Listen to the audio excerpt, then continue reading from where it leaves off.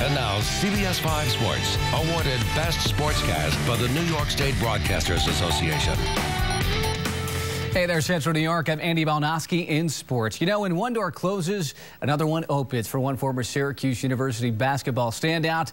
That's exactly the case. And today, he takes one big step forward in his coaching career. Former Orange player Ryan Blackwell, who was a 1995 New York State Class B High School Player of the Year for Pittsford, is the new head coach for the boys basketball team of the Warriors of Liverpool. Here's the irony. Blackwell moved to Syracuse earlier this year to coach a new ABA team in the city, but the team never started. Blackwell played for the Orange from 1997 to 2000 and then played professionally overseas. He replaces Matt Jacob, who spent the last three and a half years at the helm for the Warriors.